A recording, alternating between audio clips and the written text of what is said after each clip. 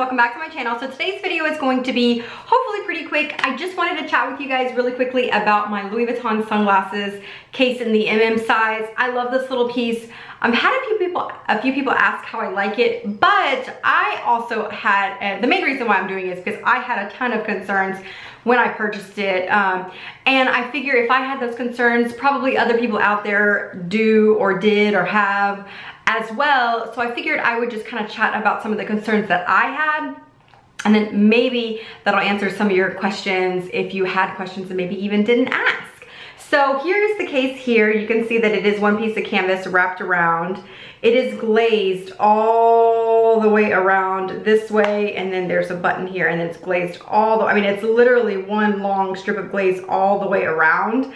Um, and then you have a button closure there. Let's see. See the button closure there, which is really nice. Um, and let me see if I can get a real close up of the, of the glazing. And then on the inside, it is the micro suede interior. Let's see if the micro suede interior and it is like a beige color. And the stamp is in there as well. I'm not sure if the camera is gonna pick it up, but it is right in, right in there. There it is. Um, it's Louis Vuitton Paris, made in France, just like the handbags and stuff. And so it does fold up really, really flat when it's empty, which is really, really nice. I love that about it because even when it's in when it's in my bag and I and I've got my sunglasses on my face, um, this is not taking up a ton of room, which I love. Okay, so let me chat with you, uh, or let me just kind of mention the, the concerns that I had and there was a couple of things. One was the fact that it is a soft case. You can see that there it's it's not hard. I was really, really, really concerned about it protecting my sunglasses. Um, I have always been the type that used the hard shell sunglass cases, um, especially with my nicer sunglasses. My new sunglasses I've always kept in a hard shell case. Um, and so I was really concerned that I would feel that this one felt like it was protecting my sunglasses. And so I will say this, um, surprisingly, it does feel safe. It does feel good. Now, this is a little bit thicker and a little bit more weighty than some other soft cases because you do have the layer of the canvas and then you have a layer of, it feels like something else, like a padding, and then you have the layer of the micro suede interior. So you do have, even though it is thin and pliable, you do have some weight to the thickness of it. And so I will say this, I have not used, oh no, one time I've used my hard shell case and that was only because I was traveling and I wanted to pack another pair of sunglasses. So I put the pair in my purse and then I put another pair in my luggage with the hard case. But as far as in my handbag and the sunglasses that I wear on a daily basis, this is the only case that I use now um, for my sunglasses on a daily basis. And I have had no problems with them being bent or anything like that.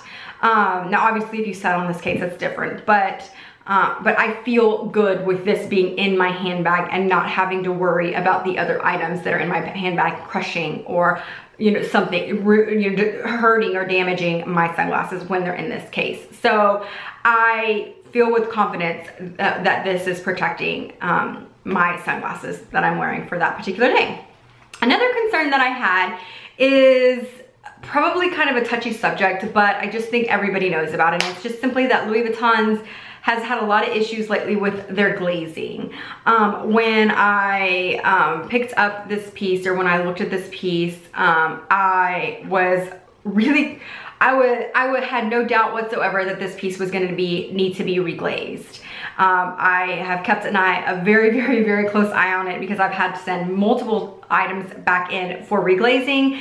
And now every piece is different. So you may have this piece and you may have an issue, but I have not had to get this item reglazed and I've had it for a long enough period because every item that I've needed to get reglazed, I, it, it's needed to get done pretty quickly um, after owning the item and especially that this gets used every single day um, like my handbags, um, if, I've had it, had a handbag for six months, yeah, maybe I had it for six months, but maybe I only used it a dozen times, you know, or, or 20 times versus um, literally using this every single day in every single handbag. Because even in my smaller handbags, most of them, I still use this. Actually, I think pretty much all of them, I still use this. So almost, almost every single handbag, if not every single handbag that I carry, um, I use this every single day. And it has not needed to be reglazed. So let me show you where I was most concerned.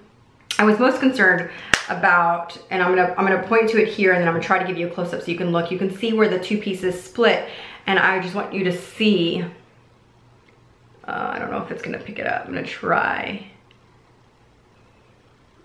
Mm.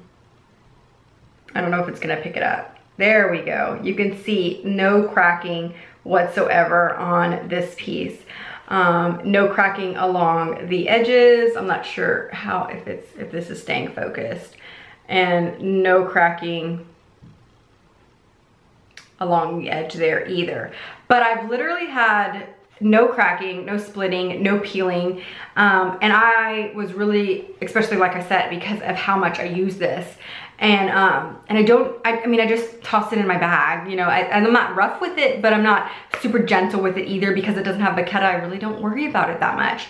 And I was pretty certain that this was gonna need to go in for repair and it hasn't.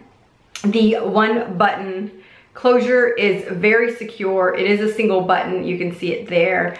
Um, and it's not one of those things also that you're like trying to find it like, oh, where's the hole? No, it kind of like goes, I mean, you can see how easy that is. It kind of goes into place really, really, really easy. So it's not like I'm like trying to find the hole, it just goes there. So just to show you how easy that is.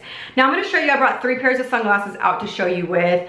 And um, my first pair is my beater pair of sunglasses. They're probably pretty dirty, so don't look at that. But these are just Ray-Bans, this classic aviators in the 58 millimeter size. And let me show you how these fit. These fit no problems there. And then of course, um, Oh, here I am talking about the button, but it really does go in good. And there you go, you can see how flat it still is. How flat it is, how flat it is. So that those are obviously no problem. I think the 58s is kind of like a standard size. The next pair of sunglasses I have, these are also Ray-Bans, but these are size 62, so they are a little bit bigger, and they have a bar across the top, so they are a little bit thicker, but I'm gonna show you those go in no problems.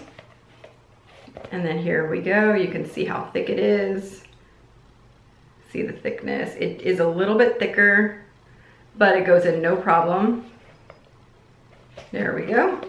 And the last pair that I have uh, to show you is a larger pair of sunglasses. They are Louis Vuitton sunglasses. They are a plastic frame, so you can see that they are a lot bigger. Um, now these do have a feature that allows them to be collapsible. Um, just FYI, these are the Charlotte sunglasses. I'll try to link all these sunglasses below just so you have. These are like my three faves. Um, but they do get thinner. Uh, I'm gonna show you them to you in there with them like this first and then I'll show them to you um, uh, collapsed. So here they are. So if you have plastic frame, uh, frame glasses, um, these fit, well usually actually, I'm sorry, I put them, I usually put them in this way. Yeah, I usually put them in this way, like that. So I just wanna show you that these do in fact fit with them not collapsed. You can see it does obviously look a lot thicker. I don't usually put them in like this because it does have that collapsible feature. I usually collapse them and then they get pretty thin. Um, and then I, I still put them in this way and then you can see much thinner. So I do believe that these would fit majority of sunglasses. I'm actually probably in the market for another pair of sunglasses soon. There's a pair that I've been eyeing. I almost bought them actually yesterday. Um, and uh, I actually probably should have tested them in there to see if they worked.